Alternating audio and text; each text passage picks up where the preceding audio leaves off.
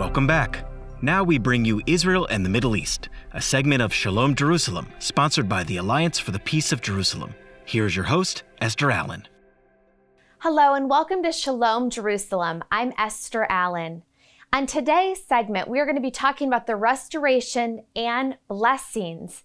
And I'm so excited to introduce you to our guest, Dr. and Pastor Brian Fisher.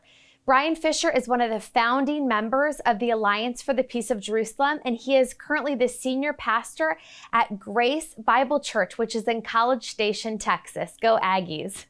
Thank you, Pastor Brian, for being with us today. Thanks for inviting me on. Glad to be with you, Esther. Pastor Brian, as we begin, I want to take our viewers back to one of the founding statements of the Alliance for the Peace of Jerusalem. Of course, all of our affirmations and denials can be found at our website at JerusalemAlliance.com. But I want to read to our viewers one of these things that you were a part of writing, and I would like for you to expand on it. We affirm that the covenants include the restoration of creation, the formation and the preservation of the Jewish people the promise of a land for the physical descendants of Abraham, Isaac, and Jacob, and blessings for all nations through Jesus, the Messiah. Pastor Brian, what covenants are still in existence as talked about in this statement? Yeah, the covenants that we're talking about are the, the covenants that really structure the, the entire uh, redemption history that God has laid out. So they're the covenants that give Israel an identity, but also structure redemption for all peoples. We're talking about the Abrahamic covenant, the Mosaic covenant, the Davidic covenant, and the new covenant. And the, the Mosaic covenant, we would say in Christ, has been fulfilled and now set aside, as the writer of the Hebrews talks about. Jesus has inaugurated the new covenant. But for the Jews who have yet to believe that Jesus is their Messiah, they're still living under the Mosaic covenant. But in that sense, all of these covenants are still in effect. Wow, it is so good to hear that. All of these covenants are still in effect. God is certainly a covenant keeping God. Um, Pastor Brian, the next question that I want to ask you is why does Abraham's promise still exist? And why were these promises given to Abraham? Can you tell us a little bit more about the Abrahamic covenant? Yeah, the Abrahamic covenant, some have said, is the, the backbone of Scripture. And I would argue that you really can't understand Scripture itself without understanding the Abrahamic covenant, which included three fundamental promises land, seed, blessing. And the promises were given to Abraham ultimately as a, as a unilateral grant covenant. God said, I will do this for you and your seed, Abraham. Now, the, the question arises well, what about uh, Israel's disobedience? And as a result of their disobedience, they were removed from the land. They went into exile. So have those promises been removed from them or are they still in place? Let me read to you from uh, the book of Jeremiah, Jeremiah, Jeremiah chapter 31. It says this Thus says the Lord, who gives the sun for light by day and the fixed order of the moon and the stars for light by night, who stirs up the sea so that its, that its waves roar. The Lord of hosts is his name. If this fixed order departs from before me, declares the Lord, then the offspring of Israel also will cease from being a nation before me forever. Thus says the Lord, if the heavens above can be measured and the foundations of the earth searched out below, then I will also cast off all the offspring of Israel for all that they have done. Notice you have two if then statements. And what's critical to realize is uh, th- this statement was given to Israel while they were in exile. So while they were under God's discipline for their disobedience, if I can paraphrase, God is, is saying to them, because you're under discipline, you may wonder, have I cast you off? And the answer is no. L- look up in the sky. Do you, you see the, the sun and the moon and the stars? If that fixed order ceases, then I'll cast you off. But you see them. So every time you look in the sky, you are reminded that I am faithful to my promises. And the promises he's referring to are those promises given to Abraham of land, seed, and blessing. So those are those are eternal promises that, that remain in place until they are completely fulfilled. Pastor Brian, thank you for always pointing us back to scripture. It is important. You know, the Alliance for the Peace of Jerusalem worked with Lifeway Research and we conducted a survey and a study about evangelicals' views towards Israel. The study revealed that younger evangelicals are confused about the land promise to Israel. Let me ask you do the land promises in Scripture apply to the Jewish people today? Do Jewish people have a biblical right to the land in Israel?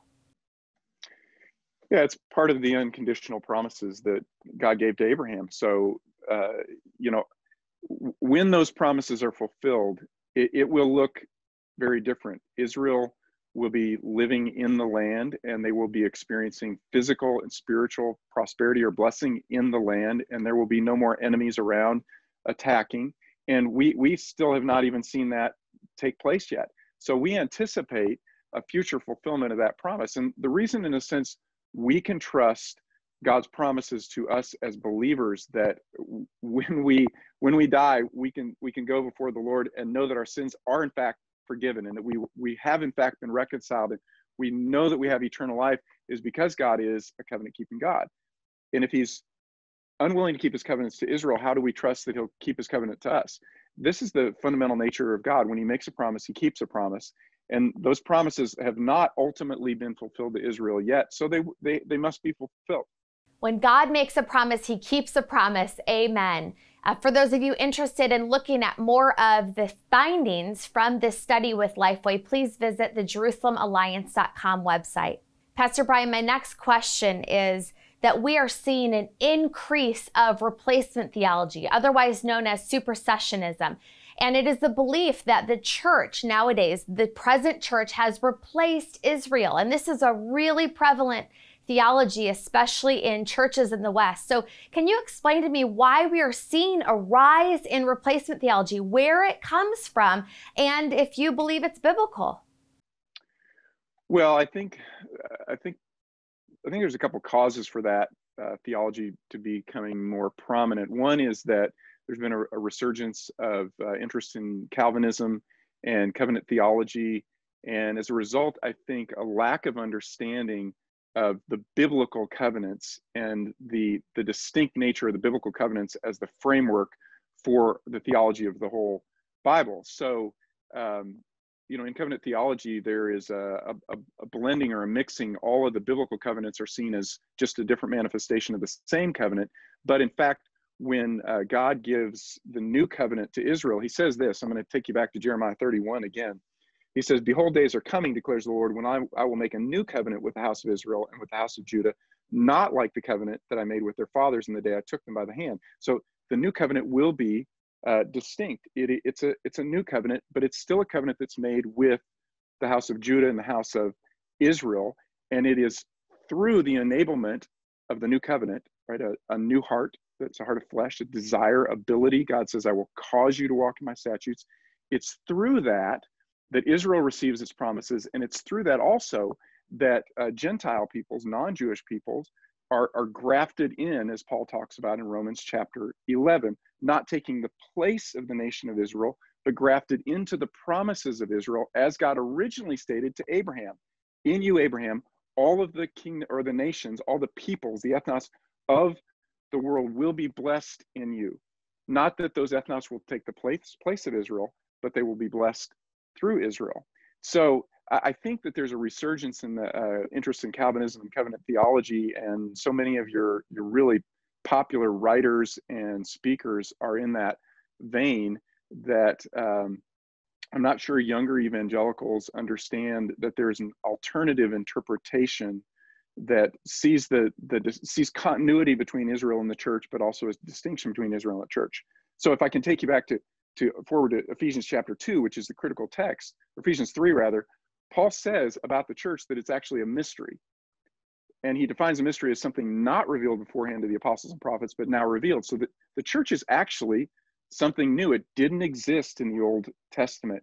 It began to exist on the day of Pentecost when, as Jesus predicted in John 7, God would pour out his spirit and he would form this new, in a sense, mystery form of the kingdom that Jesus talked about in Matthew chapter 13 not as a replacement of Israel, but because Israel had rejected Jesus as Messiah, there would be this interim period of time in which there'd be a new form of the kingdom, a mystery form of the kingdom, Jews and Gentiles together in one body. We call it the church. But until the promises are completed for Israel, they still remain in place. And Israel and the church doesn't take over those promises in, in a, merely a spiritual form. because the promises are not just spiritual, they're also physical. Something new. You know, um, interestingly enough, uh, Dr. Fisher, my recent book is Your New Name, and I studied that word new in scripture. And one of the definitions is that you are found not like you were before. So we're familiar with the new covenant, with the New Testament, of us being a new creation. But I love how you explained that word new to us just now. Thank you. I want to reference again this survey from Lifeway Research, and we found that 72% of evangelicals wish that they knew more about what the Bible has to say about Israel. So, Pastor Brian, in closing, please speak to the pastor watching. Speak to the viewer who cares about what God has to say in His Word. Speak to the church leader and the person sitting in the pew. What are our next steps to study what God has to say about Israel?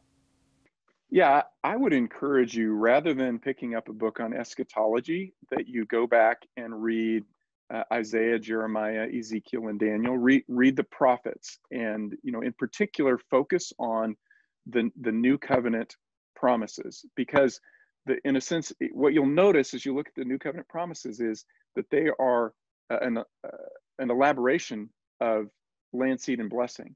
Right, the the new covenant is the means of fulfillment of the promises originally made to Abraham, and that really structures our eschatology. Now, certainly, the New Testament adds a lot of details into the eschatology, but you can't understand the book of Revelation if you don't haven't read the book of Daniel. So I think that you need to start if you're you're a pastor or you're just a, a, a believer in a church and you want to understand what's going to structure end times, what structures end times is the covenant promises. That's where to start. So I would start by reading the prophets and looking at looking for specific covenant promises that relate to land that relate to uh, descendants or seed that relate to blessings, which are both physical and spiritual.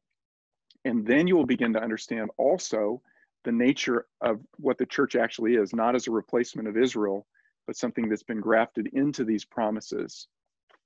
Well, these are certainly important conversations to have. We are just scratching the surface here at Shalom Jerusalem. But Pastor Brian, thank you for leading us. Thank you for helping start the organization, the Alliance for the Peace of Jerusalem. Thank you for the way that you are leading the local church. And thank you for teaching us how to have a biblical view of Israel.